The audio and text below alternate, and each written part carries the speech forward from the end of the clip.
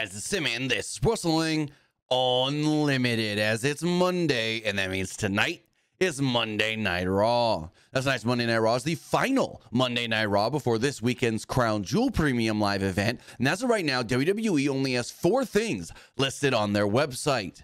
Now, we do know last week there was an Ivy Niles Zelina Vega match announced. As of right now, we do not see that on WWE's website, so we don't know if that match is still taking place or not. But let's talk about everything that WWE is currently advertising. First off, we do know that Seth freaking Rollins will be appearing live on tonight's show.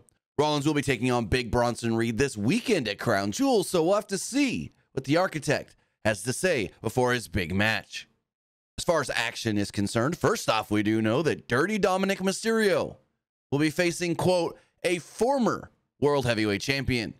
Who that is, we don't really know. But if we're predicting, maybe Damian Priest. Maybe Damian Priest.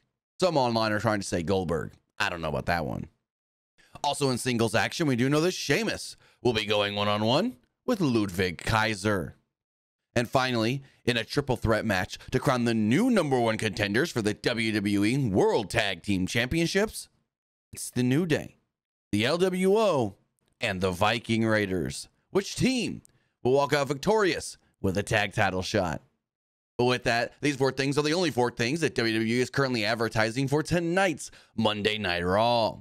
With that, if we do hear anything further pertaining to tonight's Monday Night Raw on the USA Network, we'll have it for you right here. Wrestling Unlimited.